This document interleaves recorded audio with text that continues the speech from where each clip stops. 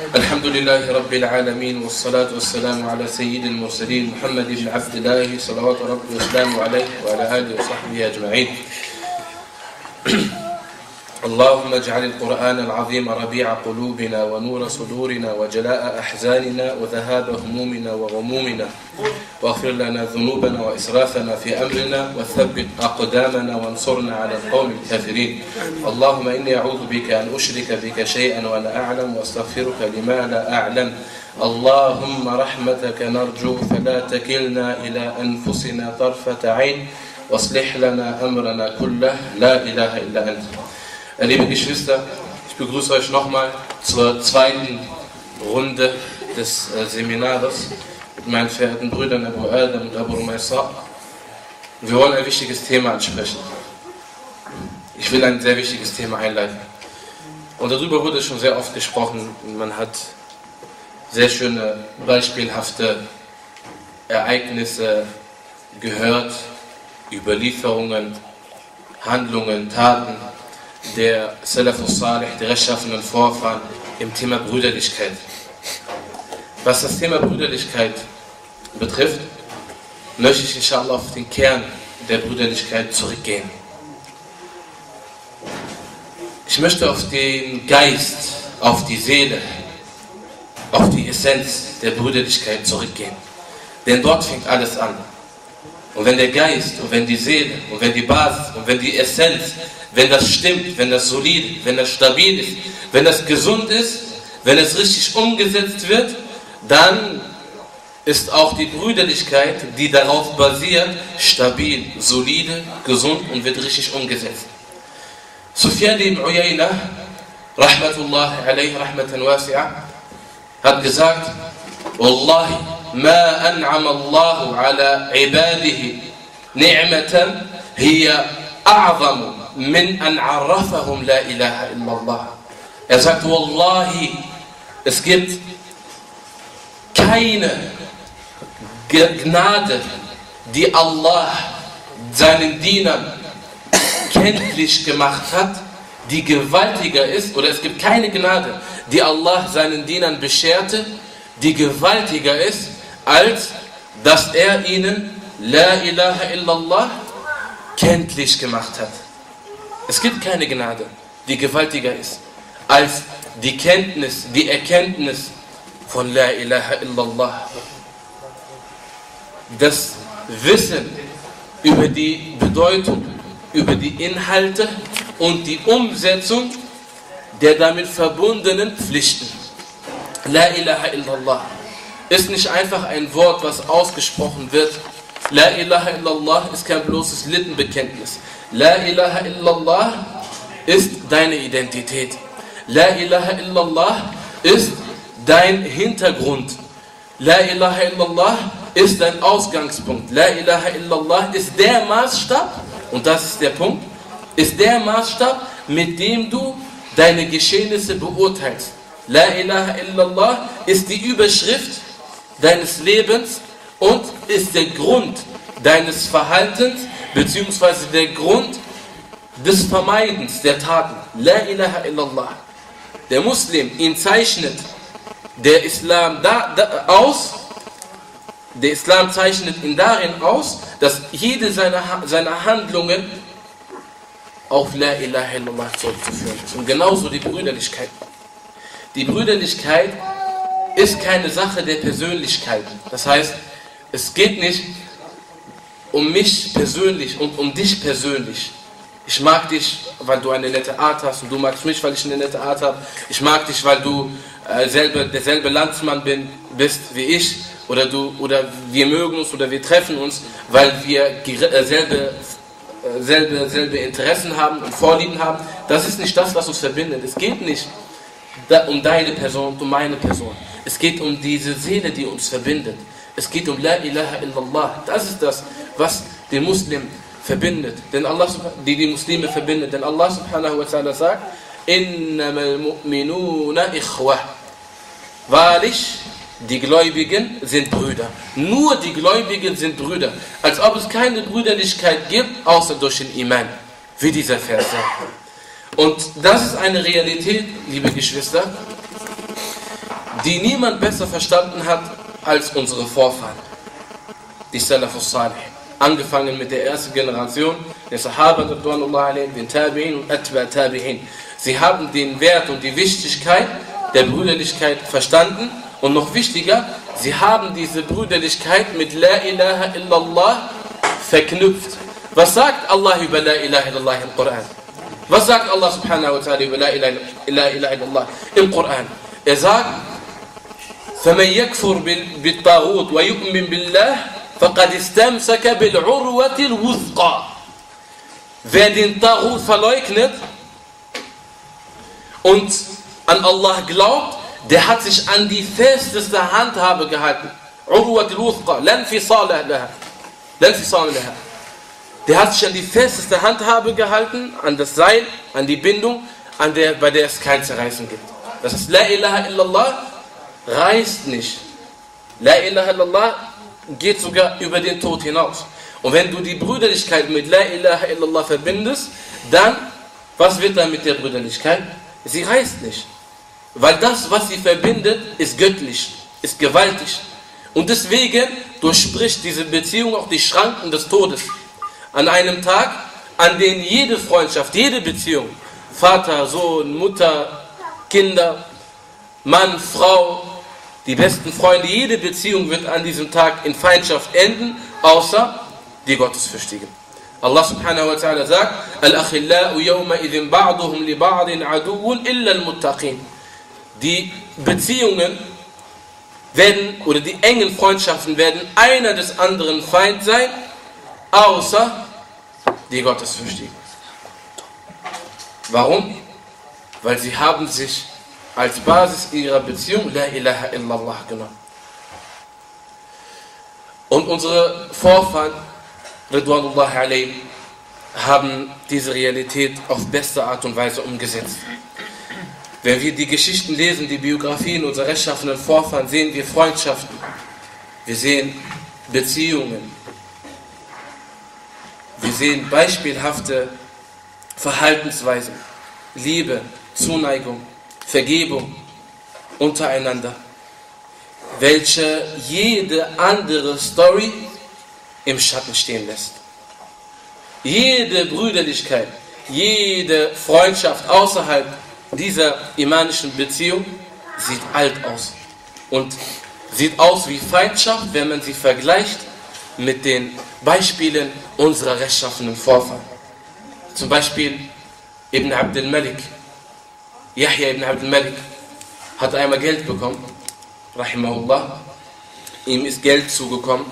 Da hat er angefangen, dieses Geld, Dinar und Dirham, was er hatte, hat er angefangen unter seinen Brüdern zu verteilen. Und er hat gesagt, Wallahi, ich schäme mich, für meinen Bruder das Paradies zu bitten und geize mit Dirham und Dinar. Ein anderer von den Salafus Salih hat gesagt, niemals sage ich jemandem, ich liebe dich für Allah, ohne dass ich ihm alles von der Dunya gegeben habe. Und ein anderer hat gesagt, Wallahi, würde ich die, hätte ich die Erdkugel, die Erdkugel, die ganze Erde, beziehungsweise hätte ich die Dunya, was auf ihr ist, würde ich sie in den Mund von meinem Bruder legen. Und trotzdem würde ich das noch als zu gering sehen, um ihm das zu geben. Schaut mal, was für Aussagen und was für, Handl für, für, für Handlungen und für Taten. Einmal ist etwas passiert. Und unter den Brüdern, also in der Zeit von, äh, in der Zeit von Muawiyah ibn Abi Sufyan, in seiner Zeit und von Abdullah ibn, äh, ibn Zubair, ist ein Ereignis passiert. Man kann sagen, eine Reibung. Das, was unter den Menschen halt passiert. Streitigkeiten, das ist normal. Der Mensch von seiner Natur ist es, Fehler zu machen. Ist es, sich mal in, ein, in eine Meinungsverschiedenheit, in einem Streit zu verwickeln, in ein Wortgefecht, in, eine, in ein Missverständnis. Es ist, ist unsere Natur. Wir können nicht raus aus dieser Natur. Wir sind, das ist in uns geschaffen, das ist Teil der Prüfung, Teil unserer Natur von der Weisheit Allah subhanahu wa ta'ala. Diese Geschichte ist ein wunderschönes Beispiel von Aktion und Reaktion. Weil wir haben heute einen, Fehl, ein, ein, ein, ein, ein Denkfehler von vielen Brüdern. Ein Bruder macht einen Fehler, er handelt falsch und die, der andere Bruder, die andere Partei reagiert im selben Niveau und merkt es noch nicht einmal. Das, ein Bruder macht einen Fehler und die anderen fangen an, ihn zu kritisieren, zu nörgeln und etc. Merken aber nicht vor lauter Aufregung über diesen Fehler, dass sie gerade denselben Fehler machen. Und Allah subhanahu wa ta'ala sagt im Koran, nicht gleich ist das Gute und das Schlechte. Wäre das Schlechte mit dem, was besser ist als dieses, so wird derjenige zwischen dir und dem Feindschaft wahr, so sein, als wäre er ein warmherziger Freund. Abdullah ibn Zubair ibn Awam, von, von ein, ein Jünger des Gesandten Allah sallallahu alaihi wasallam, also Zubair ibn Awam, der Gesandte Allah sallallahu alaihi wasallam hat gesagt, in der Schlacht von Uhud gab es hier diese Mubaraza und da hat äh, der Prophet zu Zubair ibn, ibn, äh, ibn Awam hat gesagt, äh, genauso wie Jesus Jünger hatte, so bist du mein Jünger, hat er zu Zubair gesagt. Und so wurde er bekannt. Sein Sohn Abdullah in der späteren Zeit, eben Zubair ibn Awam, hatte ein Feld. Und Muawiyah ibn, Muawiyah ibn äh, Abi Sufyan hatte auch ein Feld, was direkt neben dem Feld von Abdullah ibn Zubair ibn Awam war, in Mekka. Jetzt hatte der, hat, hatte, hatten sie beide Arbeiter und zwei von den Arbeitern von Muawiyah ibn Abi Sufyan, erstmal Muawiyah ibn Abi Sufyan ist derjenige, der lange den Islam bekämpft hat, der der Schlacht von Uhud mitgemacht hat und die Grabenschlacht mitgemacht hat gegen die Muslime, aber später hat er den Islam angenommen der Mann von Hind. Und Hind ist diejenige, die, äh, die einen Sklaven hatte, welcher Hamza, den Löwen Allahs, mit einem Speer getötet hat. Und daraufhin haben sie ja die Leichen entstellt, Hind. Ja, man sagt, es gibt ja eine Überlieferung, man sagt, dass sie sogar äh, von ihm Eingeweide gebissen hat.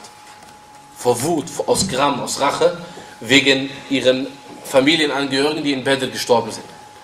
Jedenfalls Abdullah ibn Zubair ibn Awam, okay, wir wissen jetzt, wer Zubair war, und äh, Muawiyah ibn, äh, ibn Abi Sufyan, wir wissen, wer Abi Sufyan war, Muawiyah sein Sohn, sie hatten Felder nebeneinander. Dann sind zwei der Arbeiter von, von äh, Muawiyah sind in das Feld übergegangen von Abdullah ibn Zubair, ohne Erlaubnis und im Hadith wird jetzt nicht erwähnt, dass sie einen bestimmten Schaden zugefügt haben, aber es wurde das Recht von Abdullah ibn Zubair übertreten.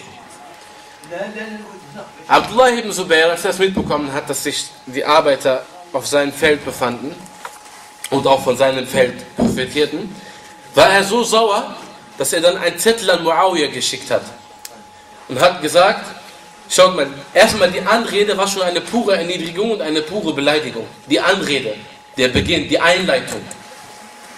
Er hat geschrieben von Abdullah, Bismillahirrahmanirrahim, von Abdullah ibn Zubair ibn Awam, dem Jünger des Gesandten Allahs, an Muawiyah, nicht ibn Abi Sufyan, ibn Hind, die Eingeweide gegessen hat.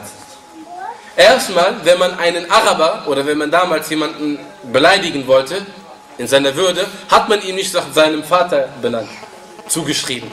Man kennt das ja, Ibn Umar und äh, Ibn Abbas etc., das ist, ist, bekannt, dass es schon eine, eine Ehrung oder ein Würdetitel ist, wenn man ihn nach dem, nach dem Vater benennt, zuschreibt. Aber er hat ihn nach der Mutter zugeschrieben, was eine Beleidigung ist. Nicht wegen der Mutter, dass sie erniedrigt wird, aber dass man ihn nicht dem Vater zugesprochen hat, damit hat man ihm einen wenigeren Wert gegeben. Und dann hat er nicht, nicht, nicht nur dabei belassen, aus Wut. Und wer war das? Das war ein gewaltiger Mensch, ein Sahabi. Und jeder kann Fehler machen und jeden kann man die Zorn packen. Aber wichtig ist das Ende der Dinge. Das Ende der Dinge, wie man, das Fazit der Dinge, wie man diese Dinge abschließt. Darauf kommt es an. Er hat es nicht nur dabei belassen zu sagen an Muawiyah eben Hind, Muawiyah den Sohn von Hind, sondern er hat gesagt an Muawiyah den Sohn von Hind, die ein Geweihte ist. Akilatul äh, Akbar. deine Arbeiter sind, zu, sind in mein Feld getreten, entweder schickst du sie zurück, machst das wieder gut, oder es wird zwischen uns sein, was sein wird. Ja, die klare Drohung. Wassalam. Als äh, Muawiyah ibn Abi Sufyan, das war erstmal die Aktion. Das heißt, jeder kann einen Fehler machen. Jeder kann man in, in, in der Stunde des Zorns, kann er mal Dinge äußern, die verletzend sind. Jeder kann das machen. Dein, dein Leben besteht aus Entscheidungen. Je, dein, dein ganzes Leben, vom ersten bis zum letzten, letzten Stunde des Tages, vom ersten Moment bis zum letzten Moment deines Lebens, triffst du Entscheidungen. Manchmal sind die Entscheidungen richtig, manchmal sind die Entscheidungen falsch. Und das müssen wir berücksichtigen. Dass wenn ein Bruder sich dir gegenüber vergangen hat, dass es darauf ankommt, wie du reagierst. Und äh, Umar ibn al-Khattab sagte, er sagte, du kannst jemanden, der sich Allah gegenüber ungehorsam verhalten hat, in der Beziehung zu dir, im Verhalten zu dir, du kannst ihn mit nichts Besserem bekämpfen, als dass du im Verhalten zu ihm Allah Gehorsamkeit zeigst. Das heißt, wenn jemand mit Hass kommt, du antwortest mit Liebe. Wenn jemand mit Neid kommt, du antwortest mit Gönnen. Wenn jemand